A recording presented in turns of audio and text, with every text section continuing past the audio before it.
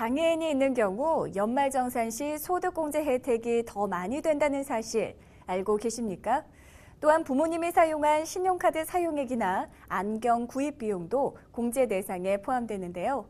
자, 놓치기 쉬운 연말정산 소득공제 정희정 기자가 자세히 보도합니다. 급여 소득자의 연말정산 기간입니다.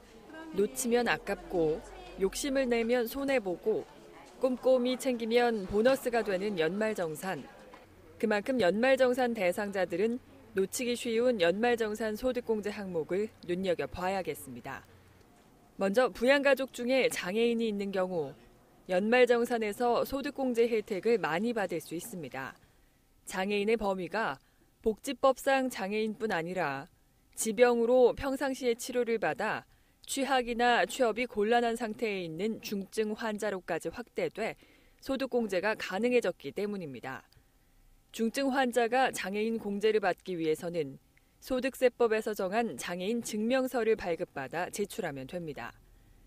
장애인은 나이와 상관없이 연간 소득 금액이 100만 원만 넘지 않으면 기본공제와 장애인 추가공제 대상이 됩니다. 또 장애인 재활교육비와 의료비는 소득금액 요건과 관계없이 전액 공제받을 수 있습니다. 한편 기본공제 대상 부양가족이 되려면 소득금액 요건과 나이 요건을 충족해야 합니다.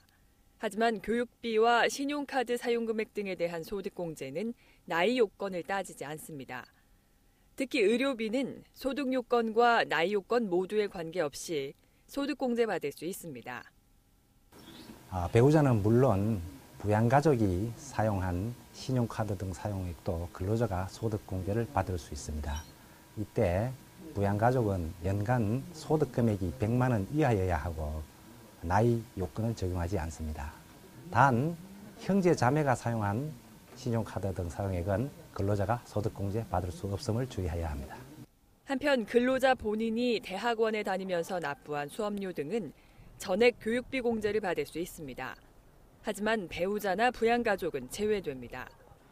다만 학교로부터 장학금 등을 지원받은 경우에는 그 금액을 제외하고 근로자가 실제로 부담한 금액만 공제받을 수 있습니다. 보험료와 의료비, 교육비 등의 소득공제 항목은 근로를 제공한 기간 동안 사용했거나 납입한 금액만 소득공제받을 수 있습니다.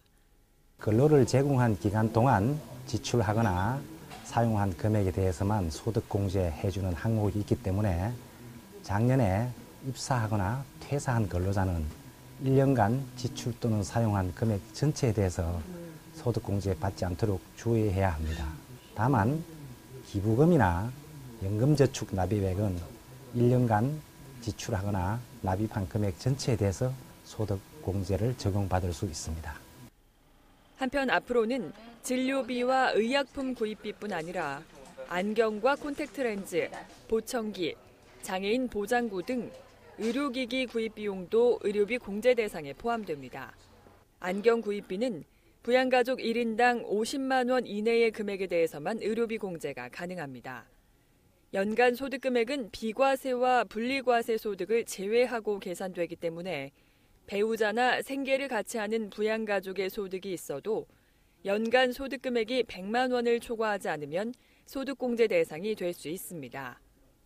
소득이 면세점 이하일 경우에는 과세 표준이 없기 때문에 납부할 세액도 없습니다.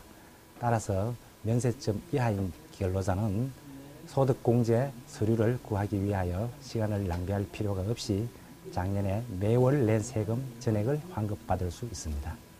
근로자가 지난해에 직장을 옮겼다면 전 직장에서 원천징수 영수증을 받아 현 직장에 제출하고 두 직장의 소득을 합산해 연말정산을 해야 합니다. 꼼꼼히 챙기는 만큼 13월에 보너스가 기다려지는 근로자들은 국세청 홈페이지나 세밀의 콜센터를 이용해 궁금한 사항을 확인할 수 있습니다. 매거진 리포트 정우정입니다.